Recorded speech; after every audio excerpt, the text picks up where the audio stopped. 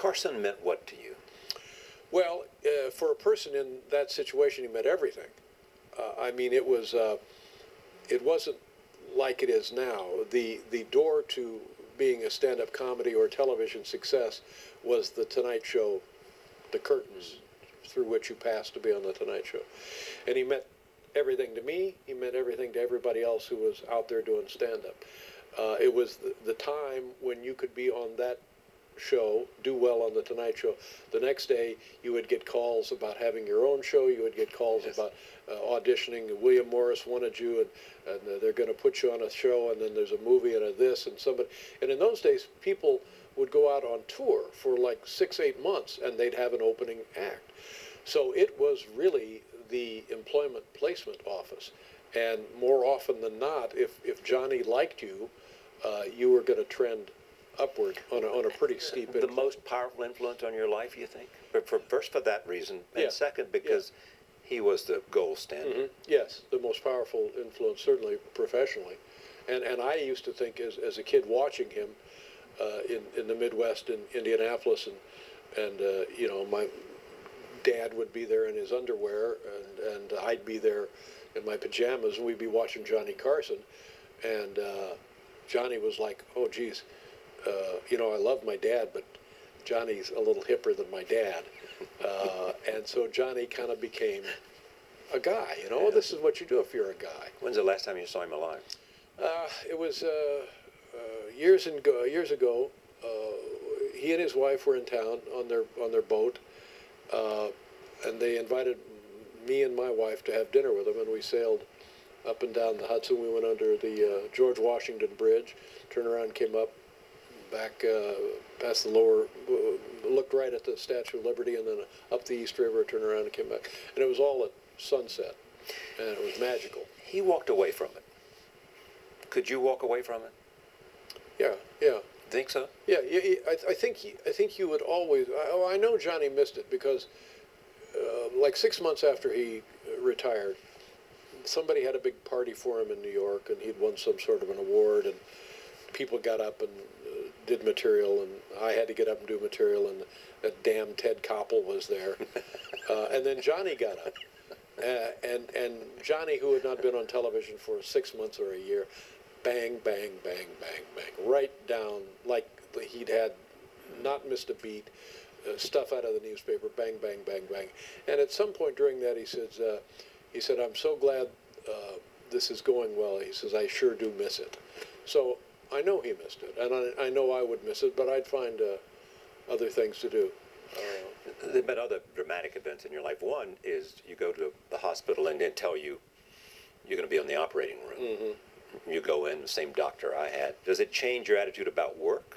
Does it change your attitude about mortality? Does it, it change? It didn't change my attitude about mortality, but it did change my attitude about work because uh, from the minute they pulled the uh, the tube out, the intubator or whatever they call it. Oh yeah, I remember that. Uh, I thought, geez, I wonder if I can still work again.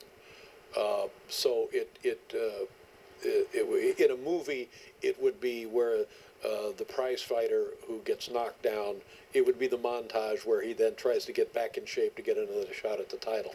So I was worried that I wouldn't be able to work again. So uh, it it kind of relit the fuse of well, let me see if I can do this. Uh, and that's you know that's why you leave Indianapolis in a pickup truck because you want to see if you can do it. yes. So so now, yes. oh geez, I want to see if I can still do this. And you did, but there are stories that that you became mellow, more charming. that you that you weren't quite, you know, as you had been. Uh, I mean, a guy whose life, entire life, was this show. Right. Because it had defined well, what you loved doing, you yeah. wanted to do it better, and you didn't know what there would be if it wasn't there. Yeah. Well, irrespective of what I just said, uh, one of the things, uh, a regret I have, I don't know if it could have been any other way, but a regret I have was not being so single-minded about this show. Uh, and I, and I think what it is, in, in my case, the two great motivators in my life, uh, and I hate it when people start talking about two great motivators in my life.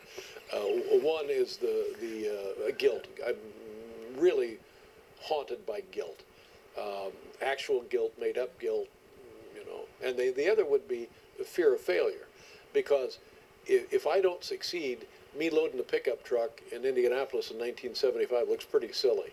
Yes. So So success defined that as the right thing to do. yeah, but I, I wish I had. Uh, I- think it came at a price. I, I mean, the, the heart surgery being one of them. But I, I wish I hadn't been so gosh darn single-minded because it, it uh, when, when your focus is that tight, uh, you miss a lot of what's going on around you. CBS came to you and Howard Stringer uh, after they decided to go with Jay for the Tonight Show. Um, can you look at that now and say that was for the best? Uh, yes, absolutely for the best. And, and when I when I look at that now, I- think it also uh, reminds me of some of the worst uh, behavior uh, of my life, my own behavior. Uh, and I wish things were like they are now. I wish they were like they are now then. What was the worst behavior? Well, there was a lot of pressure, a lot of self-imposed pressure, a lot of actual pressure. I mean, they came in and remodeled this place, uh, which I've grown to love dearly. Huge amounts of money. We had to fly around the country, talk to skeptical uh, affiliates, and um, I I didn't handle it well. Uh, and I wish I were able to handle it the way I handle things now. But it was insecurity, anger, In- insecurity, anger, fear of failure, uh, everything. all that's gone now. I would say it's all gone, but it's it's in, in, in a manageable dose. I, I, I, I just feel like this is the way humans really ought to be. I, I mean, I still lose my temper. Uh, and you're this close, Charlie. I'm telling you, you are this close. Let me You know what when I get even I will closer. mop the floor with you. That'll make this one of the more interesting interviews I've ever done, right there. So, what is it you think that you brought? Uh, you created this show, which followed um, a previous show, where you had sort of, in the eyes of many, redefined comedy, because it couldn't be what John was doing. Right. It had to be something else. Yeah. You didn't want to have his guest on your show. Well, we couldn't. We were we were told as a prohibition, you can't do this. You can't have the same guests. You can't have an Right. orchestra, and on and on and on. Uh, but you know, I had very little to do with that. It was the the people that uh, on the sh- on the staff. were- They were resourceful enough and figured out ways. You know, they kind of said, "Good, that's not the show we want to do anyway." Right. And and I always felt like I was lucky enough to do somebody else's show. You know, they built the show and I did it. And it, you know, when we started out, the, the producer and the head writer and uh, was was Merrill Markoe, and so we kind of did her show. And then after that, we did uh, uh, Steve O'Donnell's show, who was another head writer, and then Rob Burnett was our head writer for a long time when we did his show.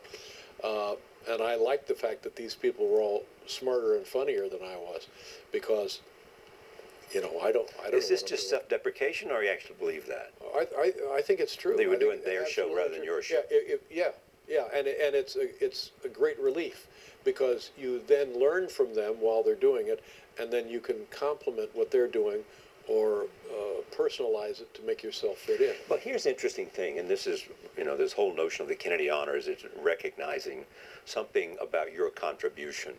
What Johnny Carson meant to you, you mean to Jimmy Kimmel and others. And do you have any sense of that? I mean, do you well, appreciate I, you know, that? Jimmy Kimmel is a case, and he's been very nice to me.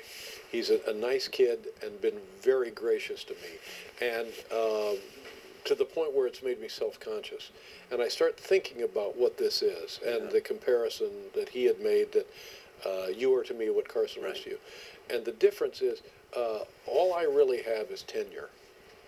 Uh, Carson was head and shoulders beyond anybody doing it now, anybody who will who will ever do it. You may see flashes of what he could do, but if you look at his show, it was always effortless. Even even shows that were awful, you just wanted to see what Johnny was doing. I, I don't have that. Like I said, all I have is uh, time. Tenure. I Time. put in I put in my time. I don't. Oh, I it's can't more than that, Dave. And I mean, you- I, I don't. I don't know. You- uh, I'm not, I'm not one to argue about this because I don't understand comedy, but at the same time, you know, it's self-evident that what after you, people looked at these shows differently. and therefore Right, Fallon like I, and like I said, and I, I, I believe that may be true. more than tenure though. There was something No, about the the eccentricity of whatever it was. I think it was the vision of the people that I had around me more than me. Yeah. I mean, we all knew that the charge was to be a different show.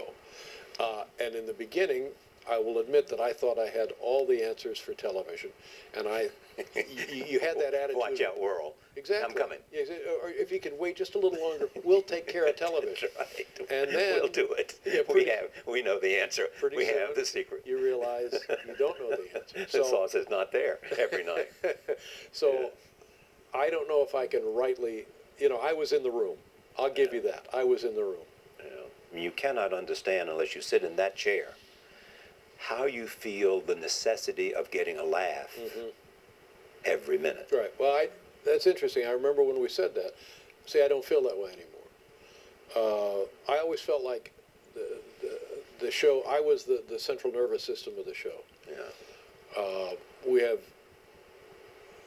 while my name is in the title of the show, I don't feel that need now. I, I feel like the presence of the guest uh, can can handle that just fine. Um, somebody else can get a laugh, or we can go without a laugh. Now, I would prefer a laugh comes from someplace, but I, but I don't feel that ultimately the, that weight is on my shoulders anymore. Is what makes you laugh different today? Oh, that's a good question. Uh, no, I think what makes me laugh today is the same thing that's always made me laugh. Something uh, silly, really silly, but yet still within the range of plausibility. Something that, yeah, that maybe could happen. We don't think so, but maybe it could happen. But it's so very silly, and that, and that's all it takes. You love somebody pushes back, though. I mean, you, Yeah, yeah. these smart people come in here and That's they right. push back. That's right. You know, if That- they that's yeah, that's pretty good. Yeah. But it's also the fact if they come prepared. I mean, you like the guy. I mean, I flew back across the country with Tom Hanks one day, and he was going to be on the show. He was thinking about appearing with you for five minutes, mm-hmm. Preoccupied with it. Yeah. Because he wanted it to be perfect. Right. Well, he's he's a tremendous guy, and he for him to take my show that seriously, uh, that's high praise. Yeah. But finally, and there's a sense that for a while you were a loner. A loner, A loner. A drifter, a man wanted in several states. That's right. A man, a, a man who would get in his Porsche and drive up there Yeah. at speeds beyond Yeah. light. Yeah. Uh, but A also psychopath. a man who had Multiple personalities. With, a man who had an obsession with owning lots of land Yeah. in Montana Sure. and St. Yeah. And everywhere else. You Collected jars of his own urine.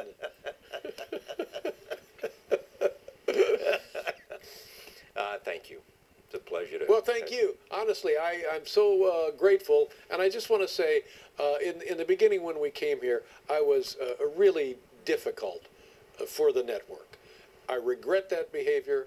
And over the years, uh, people like yourself and the management have been nothing uh, but kind to me, and I appreciate that.